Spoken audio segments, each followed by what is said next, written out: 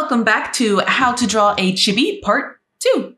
So in my first video, I covered this chibi. This is my style of chibi where it has the hourglass kind of figure, and it's a bit taller than my next chibi that I'm going to do. So my next chibi, I'm going to start out with a circle for the head, about as big as Raven's. And then for the body, I'm just going to do a line down, a line across up here for the shoulders, and then a shape for the chest area, and then a shape for the pelvic area. And then I'm going to have one leg going out and the other leg kind of following it as well. And I'm going to stop right there, make little triangles for the little feet. And then I'm going to lighten it up with my kneaded eraser because I'm going to go ahead on top of it and draw something a bit more fleshed out. I'm going to draw the bottom part of the face. I'm not going to do the full circle. And then with these guidelines that I made, I'm going to go ahead and draw a neck and the overall body, the shoulders, the arms, just kind of going out, another shoulder, another arm. And this one is going to be kind of chubby. So I'm doing a kind of rounded shape over here. Going to do another little armpit area and then follow that same sort of shape. And then for hands and fingers, I kind of do them the same as this one, just the thumb coming out and then a finger here and maybe another finger and and then I don't really draw too many. I'm not trying to get it realistic. It's a chibi, not a lot of space to fit all fingers on the hand. And so right here I'll draw a finger, another finger, and that's about it. The thumb is behind the character. And then I'm not really going to make feet. I'm just going to kind of go with this flow I've got going. So they're just kind of like nubs. And this is definitely way more chibi than this first one. Tend to call these my chubby bubblies, only because they're significantly more fluid, but also like kind of chubby in a sense and bubbly. so I'm going to go ahead and do some guidelines for face. I'm going to have some pretty big eyes, so I'm doing some pretty big circles. And of course, I've done face tutorials a lot in this channel, so that's basically what I'm following here. And to get symmetrical eyes, just make sure you're doing them both at the same time. So I just drew the upper eyelid on this eye. So I'm going to go ahead and draw the upper eyelid on this eye just to get it to match as much as possible because it won't always match exact. Then I'm going to do bottom lash line and the other bottom lash line on this side. And for the most part, it's starting to look like it matches a bit. And then the iris, other iris. And then I usually leave them just like that. When I ink and color them, then I'll finish them up with how they look with the pupil and such. I do add a nose, but again, it's simplistic. That's pretty much it. And then just a little mouth right below. And I'm thinking that since I have Raven here, I might as well make this other one Starfire. I'm to do my same sort of oval eyebrows. And then she's got bangs over here, so I'm just drawing them kind of like a heart shape going out from the middle over here. And then the bangs just kind of swooping in while kind of going down to the sides just a bit. And then she's got two hair strands coming down that are pretty long. So I'm trying to make them all like swoopy, like so. Seems simple enough, right? and then I'm going to finish up her chin area, just kind of that curved look following the circle that I had before. You'll notice I haven't finished her hair, but that's because I need to figure out her clothing and everything else first. So she's got design on her clothing around her neck, and it goes a little over her shoulders and then down over her chest, kind of swooping down like that. And then over here, she's got a big gem, similar to like Raven, except it's purple and not red. And then her shirt comes out from this chest piece thing, like that. And then she's got crop top, I guess you could say now these days. I'm just to have it swooping around, slightly curved, just to kind of follow the shape of her body and to make it look more dimensional. And then we've got her skirt comes down like that, comes down like this. And then she's got like a belt. So I'm to draw that really quick. And then I'm to go across right here for her skirt, erase her pelvic area, there we go. Finish her belt. And then she's got these boots. I'm running out of space, but that's okay. Because she's a chibi, so it's okay to like smush things in there. If anything, it just makes her look even more chibi-ish. There we go. And then finally, the rest of her hair. So I can pretty much finish it up since everything else is done. I'm coming out from the top and just going down. I'm to swoop out for some body because she has a lot of hair. And her hair length seems to vary from like comics to TV show. Like I think in the TV show it's not this long, but in the comics it's crazy long. And then curving out, going in, and then curving out again.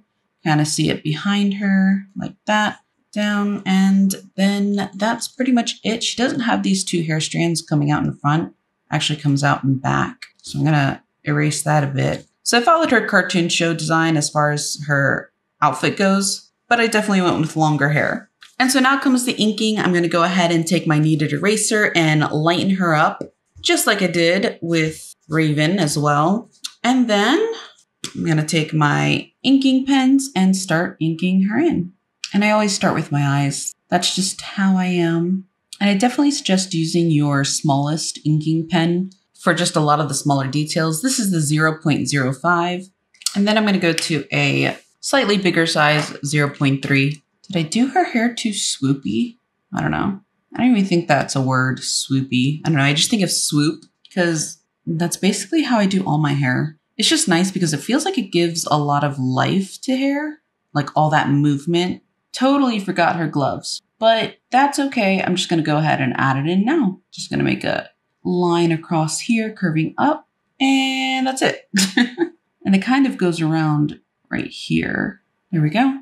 And then I feel like the circle of her belt could be bigger. So I'm going to make that just a bit larger and then connect the belt to the circle and on the other side too.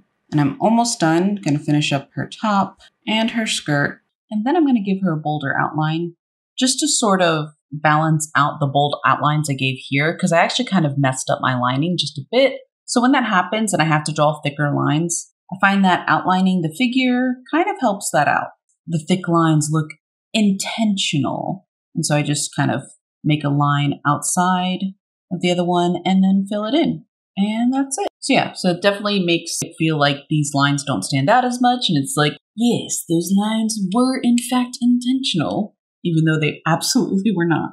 And so after I finish inking everything in, I go ahead and I erase any sketching lines that I still have, and then I get to color. So right now I'm starting with her skin, which I think was the first thing I started with on Raven. And now Starfire is a bit darker skin tone.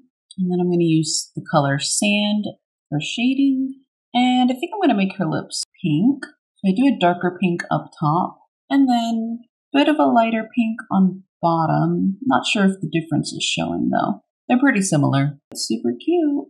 And then Starfire has green eyes all over. I'm taking this pale kind of green color, so I'm going to color it all in. So doing the iris and I'm doing even the whites of her eyes. I'm going to leave it like that. And then I'm doing just a darker green and shading on the iris, just kind of dividing the eye in half, coloring the upper half dark, and then following the curve of the iris around here, and then getting an even darker green and halving the eye again and coloring up top. And there we go. And then doing a bit of a circle for the actual pupil. And then I'm going to leave it like that to dry because then I take my Posca paint marker and add a white pupil, which is just my style. In the meantime, while that dries, I'm going to go ahead and color in her clothing. We've got a gray top, gray right here, and on the other side, as well as her belt being gray, and the tops of her boots right here that are gray as well. And of course, some shading. It's kind of like, even though it's gray, I think it's like a metal, I believe. So I'm going to try and mimic that. And then the rest of her outfit is purple. So I'm starting out with this really light purple, though it looks kind of dark a bit. That's okay. It's a mauve color, and this is just my base color. And then I'm just going to do a darker purple over top, leaving some highlights just by not coloring in some areas like on the sides. And then an even darker purple just for some minimal shading in places where it's pretty dark. And maybe some like lines for fabric. So I'm doing these two lines going across. And then I'm going to do that same sort of lining in her skirt. And there we go. Maybe on the bottom too kind of struggling to decide what to do her hair color. In the cartoon show, it's kind of like a pinkish color, like a really saturated pink. But in the comics, it's more of an orangey color, and I think I'm going to do orangey, mostly because the pinks that they use in the cartoon, I don't feel like I have in my set. It would just be soft pink, and to me, that's not so accurate. So I'm going to go ahead and do my oranges, and I hope I don't regret it. I don't think I will. So far, it's not so bad. Based off what I've done so far, it's not too bad. It's definitely very fiery, but I feel like that's what the creators were aiming for when they created the hair. So I'm definitely feeling pretty confident with it. And now the eyebrows, and that's almost it. Gonna add in some shinies now with my Posca paint pen in white, and I pretty much just put it in the hair, in the pupils, like I mentioned before. I don't know, just really brightens up the eye to me. And then, of course, like the same sort of white highlights that artists usually put. So I put that into just on like the corners. I'm gonna put some highlights on these metal looking parts on her outfit, on her bottom lip, and on the tip of the nose.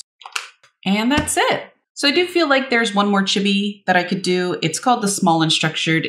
I want to say it's slightly smaller too. I'm not sure. I'd have to check and see. I've never actually done a comparison of the type of chibis that I do, but yeah. The one that I do the most often is this first one, which people claim that's not a chibi, she's too tall, which is probably true. But, anyways, this is how you do the second chibi. I hope you all enjoyed the tutorial. I hope it helped you out. And if it did, make sure to leave a like, leave a comment for what tutorial you'd like to see next, and I will see you next time. Thanks, everyone. Bye.